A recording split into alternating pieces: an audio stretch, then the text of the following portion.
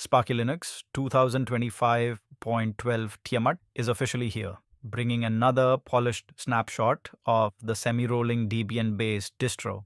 This release is built on the Debian testing, also known as Forky, as of December 14, 2025. It ships with the Linux 6.17.11 uh, kernel by default, and if you want something newer, you can install the Linux 6.18 series directly from the Sparky repositories. LTS kernels like 6.12 and 6.6 are also available for users who prefer long-term stability. You're also getting an updated bootloader with Grub 2.14 along with Firefox ESR 140.5 and Thunderbird ESR 140.5 for browsing and email. The developers recommend installing Sparky Linux on UEFI systems using the Calamares graphical installer with an active internet connection.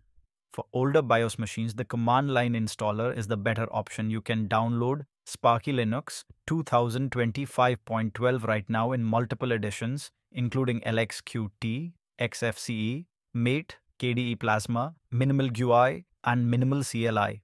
If you're already using the rolling edition, you don't need a fresh ISO. Just run sudo apt update and sudo apt full upgrade to get the latest packages.